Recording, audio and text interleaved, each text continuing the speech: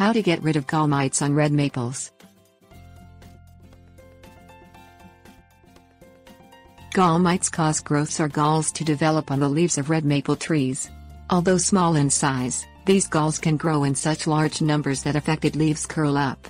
Several types of gall mites attack the red maple, including maple bladder gall mites and maple spindle gall mites.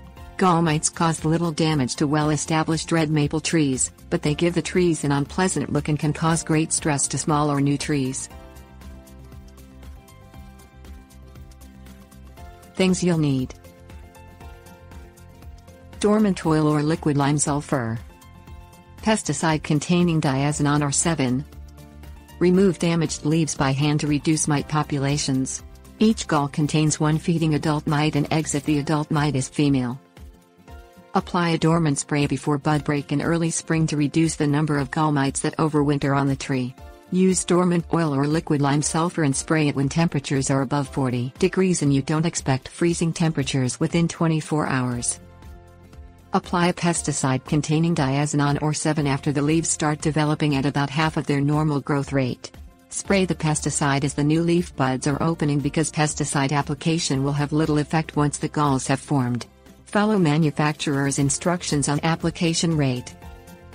Release gall mite predators to organically get rid of gall mites from your red maple. Natural enemies of gall mites include green lacewings and ladybugs. Tips Warnings Leave gall mites alone if the tree's appearance doesn't bother you. Even in severe infestations, gall mites don't significantly affect the tree's vigor and only causes temporary injury on well-established trees. The tree leaves have to be growing for galls to form, so mite activity stops as soon as new growth ceases. Grow resistant maple cultivars such as Norway maples instead of red maples. Don't use these sprays if you see any new leaves on the tree because dormant oil can damage actively growing leaves and twigs. Ref 6. Lime sulfur will stain cement, stone and wood materials.